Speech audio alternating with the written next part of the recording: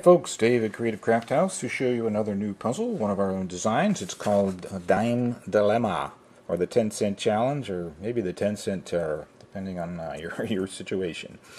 Uh, the goal uh, is to get this dime, which I've put off to the side, so it will come unsolved, to get this dime and put it in there. It is not so easy. This is uh, somewhat related to our 10 penny puzzle, which of course uses 10 pennies in the same kind of concept in a square base, but this is much more difficult. It has somewhat of a mathematical basis in that if you start with the 1 and call that area 1, then the number 2 would be 2 times the area of number 1, number 3, which is the dime, 3 times the area, number 4, 4 times the area, so the pieces are getting larger in that proportion.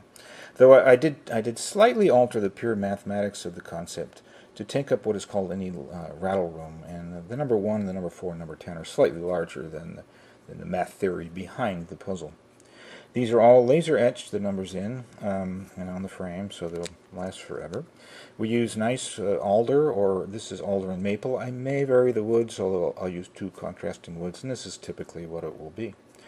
Uh, the, the base here, the bottom of the base is floorboard, so it's scratch resistant, it's got a nice uh, water resistance, got a nice uh, heft to it too. Okay, uh, I would challenge you, can you solve this in five minutes? We haven't had anybody here that's been able to do it.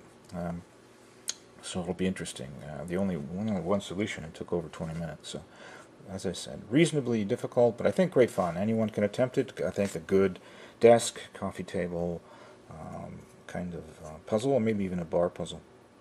All right, made right here in our Hudson, Florida shop, and uh, hope it's something you can enjoy. This is Dave at Creative Crafthouse.